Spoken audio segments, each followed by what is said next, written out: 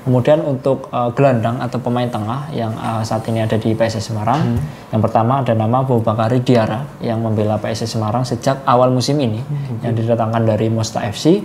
Kemudian selanjutnya ada nama uh, Lutfi Kamal yang hmm. membela PSS, PSS Semarang sejak bulan Januari 2023 yang didatangkan dari Barito FC. Okay. Kemudian selanjutnya ada nama Eka Febri Setiawan yang membela PSS Semarang sejak tahun 2020.